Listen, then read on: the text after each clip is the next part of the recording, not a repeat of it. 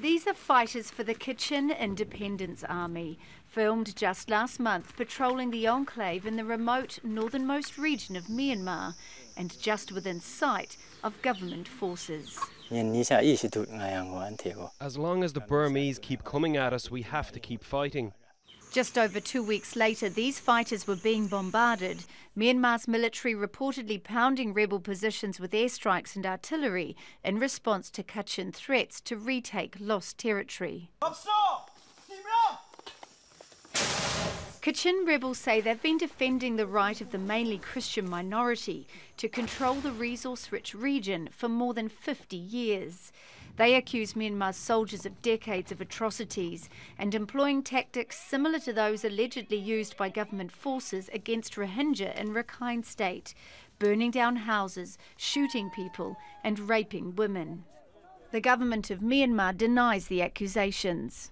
Myanmar's ethnic diversity is at the heart of conflict right across the country. When Myanmar gained full independence from British rule in 1948, power was unexpectedly handed to the majority Burmans, a deal that excluded numerous ethnic minorities, including the Kachin. The country has been at civil war ever since. Eight of the 130 ethnic groups in Myanmar have armies. The Kachin is one of the most powerful. A 17 year ceasefire deal with the Kachin fell apart in 2011 and fighting resumed.